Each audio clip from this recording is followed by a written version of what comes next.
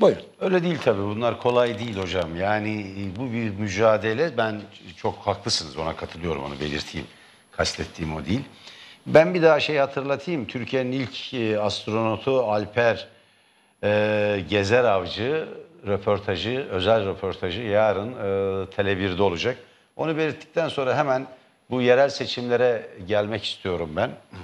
Şimdi Cumhuriyet Halk Partisi'nin dün e, meclisteki e, kapalı terörle e, terör gündemli, terör saldırıları gündemli kapalı oturumu vardı biliyorsunuz hocam.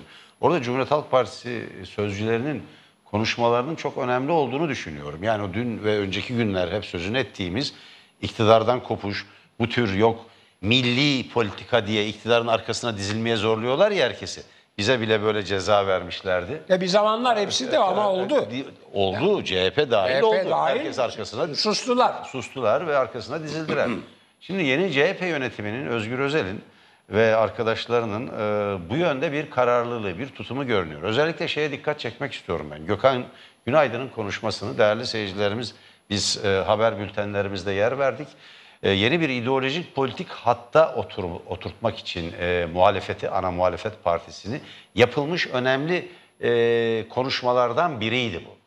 Ee, Sayın Gökhan Günaydın'ın daha önceki bütçe konuşması da benzer bir e, perspektife sahipti. Halkçı, daha halkçı, sol, e, toplumcu, e, yurtsever bir e, e, iktisat bakışını koyan, e, dün de yine öyle terörle mücadelede de e, yine toplumcu ve e, yurtseverlik perspektifinden bir e, terörle mücadele, e, Kürt sorununun çözümü, Türkiye'yi yeniden birleştirme ve kardeşlik temalarının işlendiği ama terörle mücadele konusunda da e, kendi durduğu yerden, kendi perspektifinden taviz vermeyen bir yaklaşım sergiledi. Bunun önemli bir arka planının olduğunu düşünüyorum. Önem e, taşıyor çünkü. E, öne çıkan e, ki grup başkan vekili zaten e, Gökhan Günaydın. Şu anda Cumhuriyet Halk Partisi yönetiminde e, öne çıkan yöneticilerden biri. E, buna dikkat çekmek isterim. Fakat başka bir sorun daha var. Şimdi adaylar adaylar yavaş yavaş belirleniyor. Gördüğüm benim bir e, tablo var ve bu konuda bir takım e, ne diyelim gözlemlerim de var, sezgilerim de var, endişelerim de var öyle diyeyim. Yeni CHP yönetiminin CHP'yi birleştirmesi gerekiyor. Yani bir kongre, bir kurultay kızgınlığından, il kongresi ya da kurultay kızgınlıkları, saflaşmaları, ihtilafları ve onun düşmanlıkları üzerinden hareket edilirse eğer bu aday belirleme Felaket olur. felaket olur. Partiyi birleştiremez. Felaket olur. Yani e, kurultayda Özgür Özel'e ve listesine oy vermedi diye e, bulundukları il ve ilçelerde seçilme şansı olan, iyi hizmet etmiş e, belediye başkan adaylarını ya da seçilme şansı olan nitelikli, yine halkçı, devrimci, yurtsever e, belediye başkan adaylarını bir kenara bırakırsanız, örneğin solun, e, sosyal demokratların, cumhuriyetçilerin kültürel havzasında bile bulunmayan Muhittin Böcek gibi bazı Antalya'da bazı belediye başkanlarını yeniden aday göstermek konusunda ısrar ederseniz bunun sonu iyi değil. Bunun sonu iyi değil.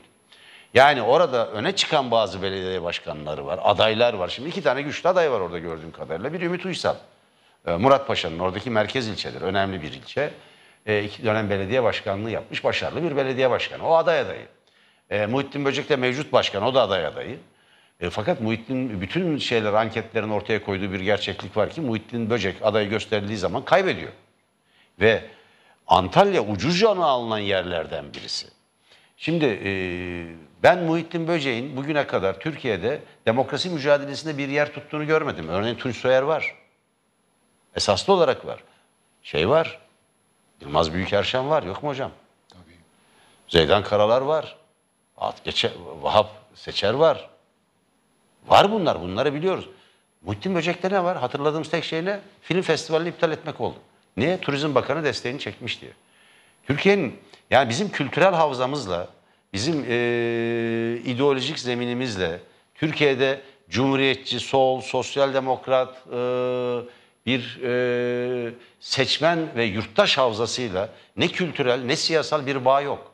Tam tersine bu arkadaşımız tutmuş e, Bilal Erdoğan'ın yönetiminde olduğu, kurucuları arasında olduğu gençlik vakıflarına oradaki yurtları tahsis etmiş. Ensar Vakfı'na yurt var ya. Ensar Vakfı'na verdiği yurt var. Şimdi eee, ya Çağdaş Yaşamı Destekleme Derneği'ne niye vermiyorsun madem vereceksin? Niye orada? Buralarda hiç yok. Yani toplumsal mücadelenin içinde hiç yok. Cumhuriyet mücadelesinin, laiklik mücadelesinin içinde hiç yok. Halkçı bir belediye, eee, belediyecilik perspektifine sahip değil. Böyle bir derdi de yok. Ama böyle bir aday var. Şimdi bunlara dikkat etmek gerekiyor.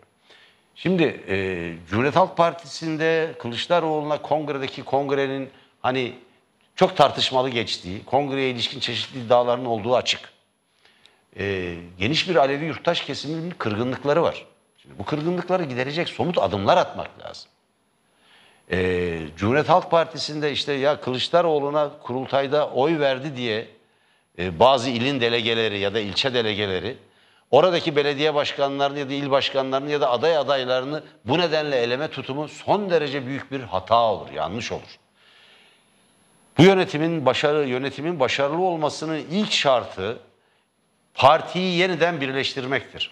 Değerli seyirciler. Cumhuriyet Halk Partisi yönetimi kendisi karar verecektir elbette.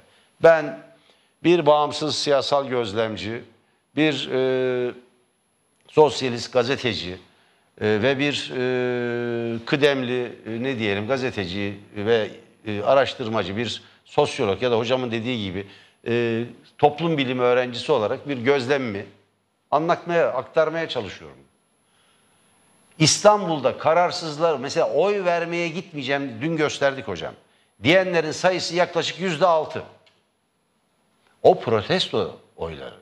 Onlar AKP'li değil. Onlar Cumhur İttifakı taraftarları değil değerli seyirciler. Onlar büyük ölçüde CHP'li kırgınlar. İstanbul'daki Alevi CHP'liler ya da CHP'ye oy veren Aleviler kendilerinin ya işte e, bir şekilde Kılıçdaroğlu üzerinden haksızlığa uğradıklarını düşünüyorlar. Hocam ya bana geldiler şey söylediler benim kaldığım otelde. Merdan Bey gördünüz mü diye neyi dedim ben anlamadım bir şey oldu zannettim. Çünkü adam ağlıyor. İkinci bir Kerbela yaşadık dedim. Dedim yapmayın ya. Ya böyle bir durum yok. Bu bir yarış yani bu bir mücadele yani bu bayrak yarışı. Yani böyle bakılmaz ortada da böyle bir e, vahim durum yok. Böyle bir dramatize etmeyin diye. Yatıştırdım yani adam oturdu karşımda ağlıyor. Bir delege. Ertesi gün. Ve o kadar emin ki benim de onu doğrulayacağım ya haklısın filan diyeceğimi zannediyor galiba. Dedim yok öyle bir şey. Yani bazı işte kongre e, oyunları olabilir, bazı kongre atraksiyonları olabilir vesaire filan ama yani bu işte bir Kerbela ile karşılaştıracak bir değil. Şimdi bunu görmek lazım.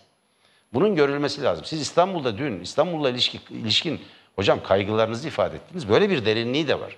Şimdi bazı ilçeler var. Ya Kılıçdaroğlu'nu destekledi diye dışlanmaya çalışılıyor. Bu büyük hata olur.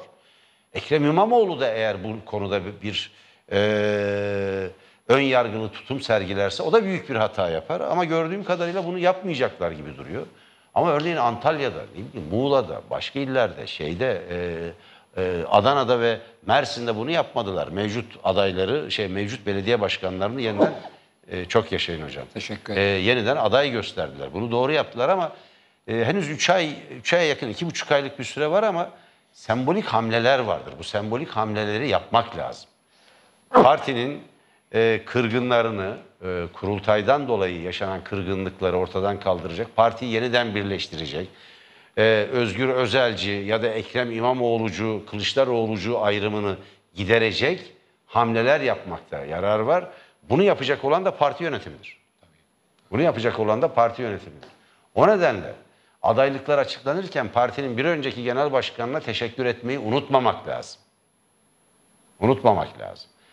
Beğenirsiniz, beğenmezsiniz, eleştirirsiniz e, ya da desteklersiniz. Ama sonuç olarak partide 13 yıl görev yapmış bir genel başkandan söz ediyoruz. Ondan söz etmek, onun e, belli ölçüde görüşlerini almak, onun devrede olmasını, deneyiminden, birikiminden yararlanmak konusunda bir tereddütün bulunmadığını göstermek büyük önem taşıyor. Kaldı ki hocam, bütün seyircilerimize bir daha anlatalım, bir daha hatırlatalım. Bizim ne kadar eleştirdiğimiz, ağır eleştirdiğimiz bilinir. Yani biz bir önce ya bir, bir dönemi yani neredeyse Cumhuriyeti kurduğu için özür dileyecek bir parti olmaz dedik. Bu kadar e, ağır eleştirilerimiz oldu hocam. Buyurun hocam. Evet, şimdi değerli izleyiciler, bu e, din ve mezhep meselesi çok çok önemli.